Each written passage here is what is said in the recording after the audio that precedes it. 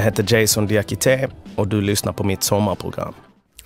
En gång satt jag på Stortorgets uteservering i Lund. En man kallade mig för det där vidriga ordet igen. Jag blev arg, han var stor, jag fick slåss igen och jag har fortfarande kvar ärret vid mitt vänstra ögonbryn som ännu en påminnelse om rasismens fula ansikte. En annan gång satt jag hos en homeopat i Malmö som skulle förklara för mig hur giftigt socker är. Man kan till och med göra negerbollar som är goda utan att använda socker, sa hon. Ja, jag kallar dem det. Det har jag ju alltid sagt. Det tycker jag man ska få lov att kalla det. Den gången sa jag inget. Jag gick hem.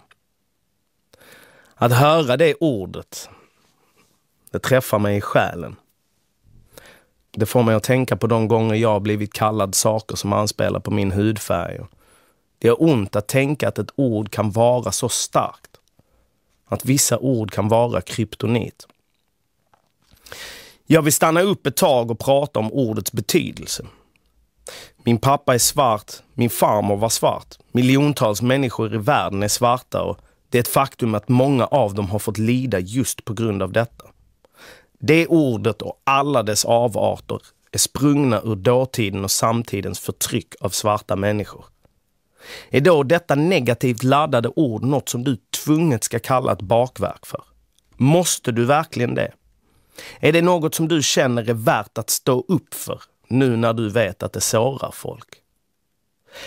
Argumentet, men så har det alltid hetat, är inte bärkraftigt. Det finns bara en beskrivning av min hudfärg som är värre än det ordet och det är ordet mulatt. Detta ord som härstammar från ordet mulåsna. Bägge dessa ord är uppkomna av vita som använde det som beskrivningar av människor i en tid då dessa människor var betraktade och behandlade som boskap. Orden härstammar från en av mänsklighetens allra mörkaste beteende. Att göra människor till slavar.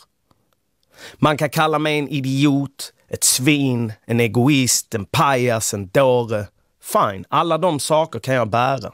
Det är en rättvis beskrivning av hur jag betett mig i många lägen. Men att kalla mig någonting som syftar på min hudfärg tänker jag aldrig acceptera. Det säger ingenting om mig eller mina handlingar. Det är en kamp som jag tycker är värd att stå upp för.